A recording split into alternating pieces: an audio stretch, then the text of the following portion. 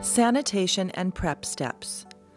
Sanitizing and prepping the nails is one of the most important steps in any service. It is the foundation that you are going to create your work on. Pay special attention to this vital step. Before you begin any service, your client must wash their hands. By using Star Nail Sani Scrub, you are not only protecting yourself, but also your client. Sani Scrub with PCMX protects against bacteria, microbes, and fungus. When diluted with water, it can also be used as a hand sanitizer. Begin your prepping by pushing back the skin surrounding the nail.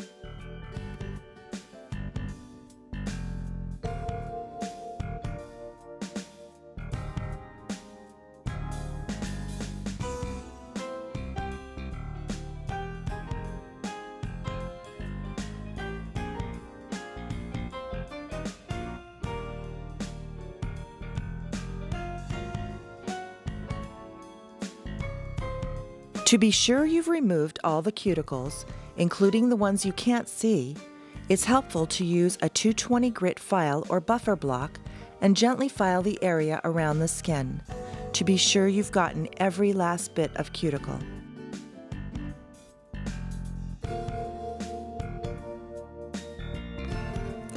Using the same 220 grit file or buffer block, remove the shine from the entire nail.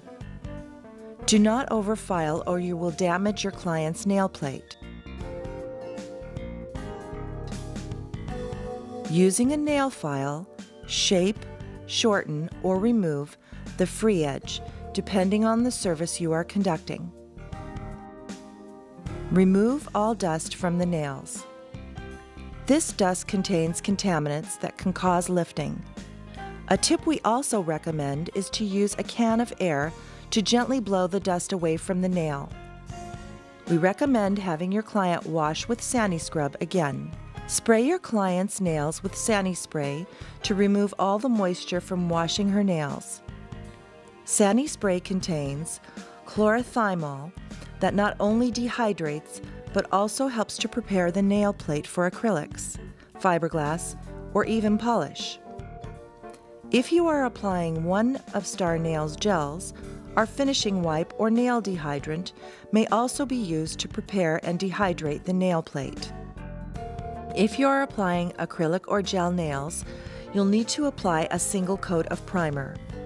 The Star Nail Primer Pen ensures that each nail gets the perfect amount of primer and protects your client from overexposure. Or you can use our brush on primer. Be sure to use it very sparingly you only need a very small amount to prepare the surface of the nails.